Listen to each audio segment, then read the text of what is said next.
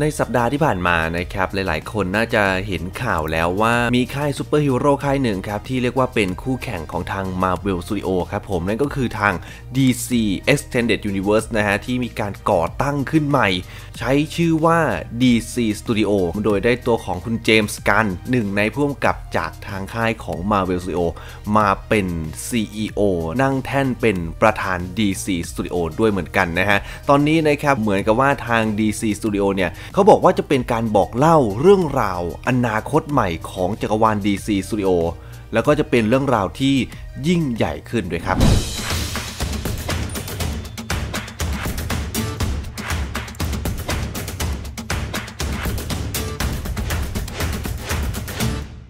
ฟิล์มฟอร์ด Short News การเข้ามานั่งเก้าอี้ประธาน DCU ของเจมส์กัน ดูเหมือนว่าจะมอบความหวังให้กับแฟนๆ ของทาง DC อยู่ไม่น้อยเลยนะครับ ที่จะได้เห็นความเปลี่ยนแปลงที่จะเกิดขึ้นในอนาคต แต่ในขณะเดียวกันครับก็เกิดกระแสที่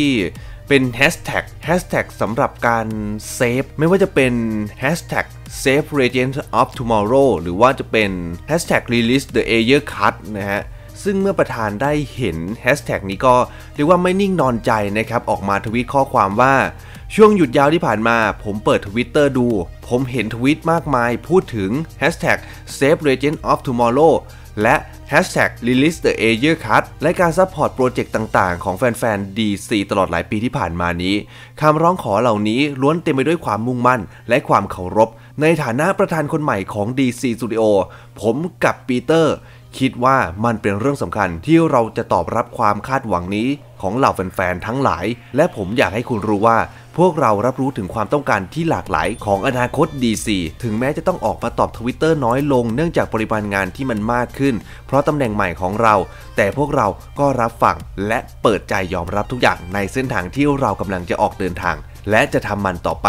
ในอีกไม่กี่ปีข้างหน้านี้ แต่สิ่งที่เราสนใจคือการเล่าเรื่องราว เพื่อเป็นการตอกย้ำถึงโฉมใหม่ของ DC Universe และการเล่าเรื่องราวที่ยิ่งใหญ่กว่าที่เคยทำมา ผ่านหนังทั้งหลาย ซีรีส์ต่างๆ รวมไปถึงบรรดาโปรเจกต์แอนิเมชันอีกมากมาย ขอเชิญแฟนๆ DC ทั้งหมดจากทุกๆ multiverse และทุกๆคนเข้าสู่จักรวาลใหม่ครับ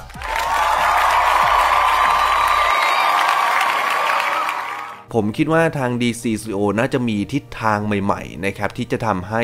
มีการบอกเล่าเรื่องราวของซูเปอร์ฮีโร่ในจักรวาลของ DC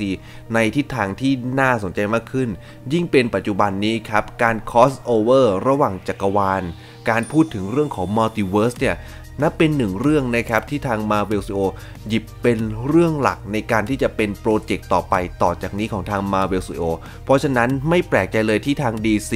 จะหยิบเอาวิธีการนี้มาใช้ในการวางแผน แล้วก็เป็นการต่อยอดเรื่องราวในอนาคต เพื่อที่อนาคตต่อจากนี้ไม่นานนะครับ เราอาจจะได้เห็นก็ได้ครับกับ Marvel vs DC อย่าลืมกดไลค์ กดแชร์ กด Subscribe แล้วก็กดกระดิ่งแจ้งเตือนด้วย เพื่อไม่ให้พลาดข่าวสารวงการภาพยนตร์แบบนี้ได้ทุกวันที่ช่อง Alexander Channel